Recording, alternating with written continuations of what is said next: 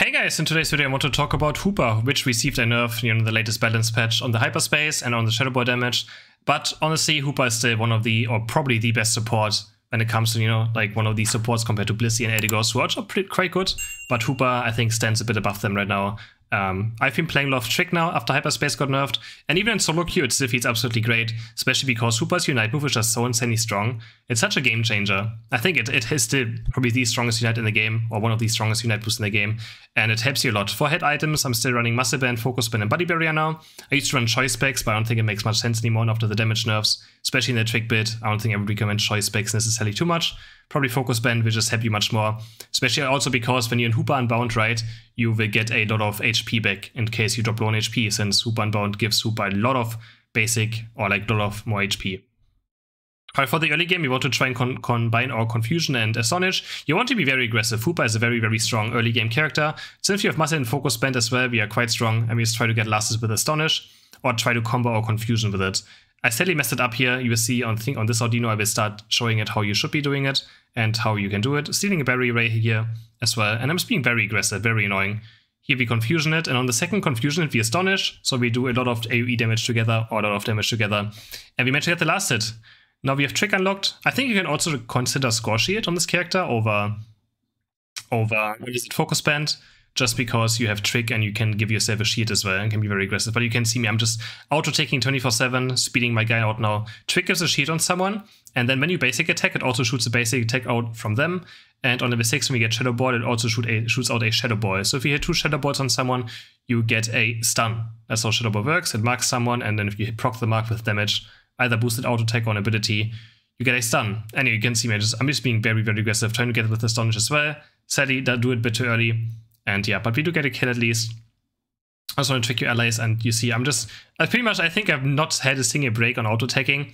I'm just auto-taking, auto-taking, auto-taking. It's just so very important. You just keep auto-taking on this character and just be very, very aggressive in lane. Yeah. So Phantom Force as well. I don't think Phantom Force is too good in solo queue. If you play duo or triple queue with a good like lane or like someone you can trust, I think Phantom Force can be quite strong. We saw it playing in the European tournament a lot where was it Random Gaming? No, not Random Gaming. I, uh, Unleashed played Talonflame with Phantom Force Super. You put Trick on him and he can port back always on the Phantom Force after diving into. It's a quite nice combo you can consider if you play duo queue. But for straight up solo queue, I think Phantom Force is very lackluster. Without communication, I would not recommend playing it. Trick Shadow Ball much better, much easier setups for stuns, and quite strong in team fights and early game laning phase as well. So yeah, we just want to reach level 6. Even though Stunch is quite good, obviously Shadow Ball is still a bit better. Um, trying to spawn a berry for him. I should probably spawn a berry for him much earlier there well. I got to re, re remind that you can always spawn berries. There we go. Just stealing one away now. Healing myself a bit. And almost level 6. Hoping that our jungler is going to rotate bot soon. We find another nice Astonish on the Blissey. And we to manage to take him down? Almost. Sadly not. The only Blissey is here. But speed ourselves out with Trick. Try to dodge the Spirit Shackle. But sadly our Machamp. We both get hit and our Machamp goes down. So Dread is up. Sadly my team is nowhere to be found and uh, just waiting for just waiting a bit for my guy to come here and just trying to get some vision on my opponents. They're not doing it yet, so we're kind of fine. Um, no, they start doing it, so I was hoping my Talonflame is hopefully gonna move fast. I ping it once. Let's attack here and just hope that he moves to us soon. Or Duraludon also is moving in. And yeah, spawning a berry right now just to get some healing. And Shadow Ball, honestly, Shadow Ball is not the worst stealing as well. So yeah, I just trick him, I do a double Shadow Ball, and I barely get it.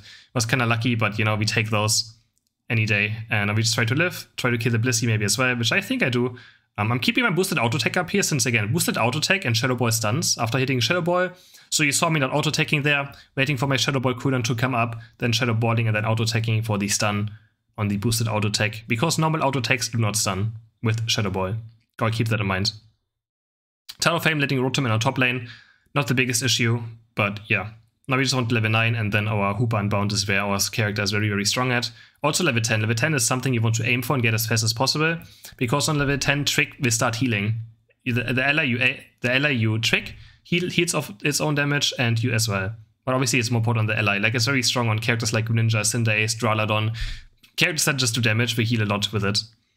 Get a cheeky 30 score in here, we break the goal. Doesn't really matter much, but uh, yeah. And a nice double stun here. There's the double Shadow Ball coming in action. And we just try to hit these on characters as much as we can. But yeah, your main trick targets probably should be hyper carries or things that go in. I mean, also like it's very good on Machamp because when he goes in on level 10, when I'm level 10, he will start healing a lot as well and start tanking a lot of damage. And I can hit easy Shadow Balls with his trick on him, right? So yeah. Anything I can dive in is very good or any hyper carry. Honestly, Trick is good on almost, every character except for very heavy like backline poke characters. Like if you have a Shackip Decidueye, a Solar Beam Venusaur on those characters, they will not do much. But yeah. Try and get out here now. Dread is up in 28 seconds. My Duraludon sadly rocking the wrong direction, but he's walking away from us, so at least we live kinda. And uh, we're just waiting for that to spawn 20 seconds now, so I'm gonna keep my Unite for that. Um, if they go to DP, I will start using it though, so I can port my team in and we can kill them right here. I decided I'm like, okay, if we kill them here, right, I'm just gonna port in my entire team and If we get two, three kills here, this Dread will be ours. So pulling the trigger, gladly my entire team ports in.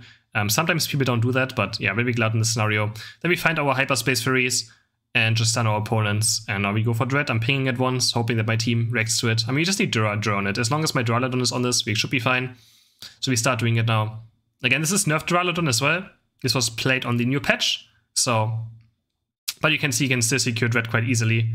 There we go. Bam. There's the Dragon Pulse, and we still get Dread. And then we just try to get out. I get solo Gardevoir United, which always feels bad, but our draw hits a nice Unite, and we maybe turn it around, tricking him up now we can still look for something. I can hit a Shadow Ball of someone and maybe try and find for a slow. So I'm putting my trick on Talonflame here, no on Machamp, and actually hit a slow on the Decidueye with the Shadow Ball. But yeah, can't really much with it. We're quite, quite deep right now. Still long to go before Zapdos, but yeah.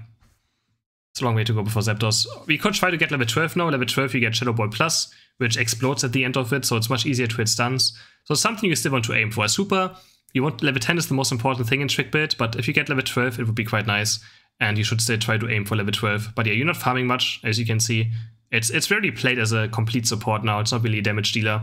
Even though every single Hoopa game I play, I have in very high damage numbers. And yeah, even with this build as well, I end up being... I mean, you see how much I'm auto-taking, right? I'm proccing Muscle Band over and over again. Here, I get a bit cocky. I was like, let's see. I just wanted to see if I can fight the enemy Decidueye. But uh, I actually had no chance. As soon as he had his like auto-tech stacks up, he actually just crit me a billion times and I'm gonna die It was an experiment. Uh, was quite optimistic of me. And yeah, gladly dying. I mean, dying is is very bad because I give him a 46 score, so it was a huge mistake. As you can see, I also do dumb things sometimes, just so you guys know that I'm not not always perfect. Um, I'm just gonna showcase some bad things as well sometimes. I do mistakes, everyone does, mis everyone does mistakes. Alright, now we just try to farm level 12, taking red buff. Red buff on Hoopa is also actually quite nice you have pretty high basic attack range, and if in Hoopa Unbound, right, you have very, it's very strong in Hoopa Unbound to have a red buff. Auto attack slowed and everything around you. So just trying to get for level 12 right now. Nothing else really matters. We just have to get ready for Zapdos afterwards, which is still 25 seconds away, so not a big deal.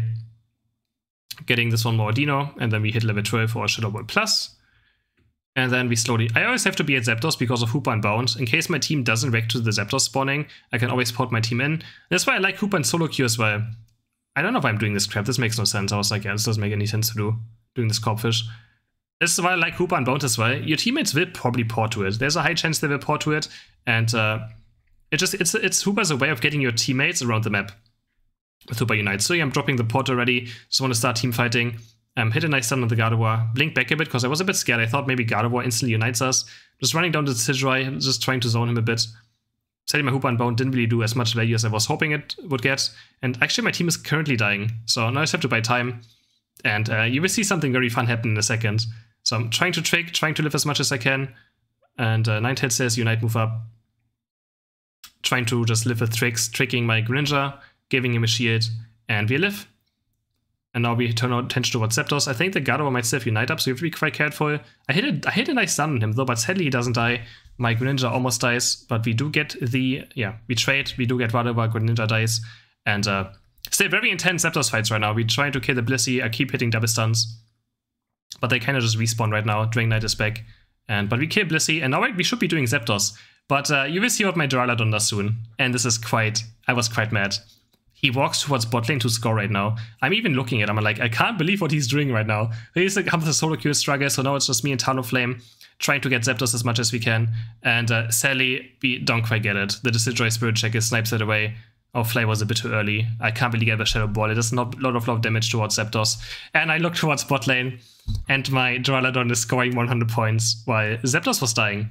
So, I wasn't very happy, but it's just normal solo queue games. Um, I know I posted a lot of wins, right? So I thought maybe this was a pretty good trick game. I thought.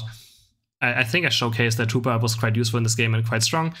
But uh, yeah, this was a great example, guys. I don't win every game as well. Of course, I post the good games more, but the same things that happen to your guys' games happen to my games as well. but I hope you guys enjoyed this video. Um, I'm really liking Trick Hoopa. It's actually quite fun. And if you're a support guy that wants to play support or you like mages a lot, it kind of feels a bit magey as well. You can give Hoopa a try. But yeah, still very insane Unite move, has very strong laning phase. It's very strong in pre-mates. If you play Duo or Triple Q, one of the best characters to play right now, you can always support one of your friends who plays a carry. And yeah, very strong in duo laning. laning. And has very good damage output as well. In this game, you can see we still managed to have the second most damage in our team, actually almost the highest, only 1000 less damage than our fun friend Duraludon, uh, who sadly went for scoring over Zapdos. But I still hit like always between 50 and 80,000 damage with this build, so quite solid. Again, of auto lot of muscle band procking.